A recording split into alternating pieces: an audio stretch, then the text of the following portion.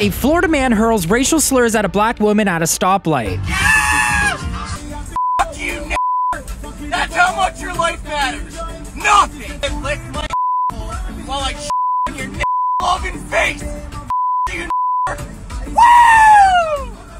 Naples residents shared similar experiences, leading to the identification of the perpetrator, Jeffrey Rouse, 40, who was delivering food for Grubhub. His lawyers managed to reduce the sentence from eight years to just 120 days. Jeffrey claims to be a changed man since the viral clip that shows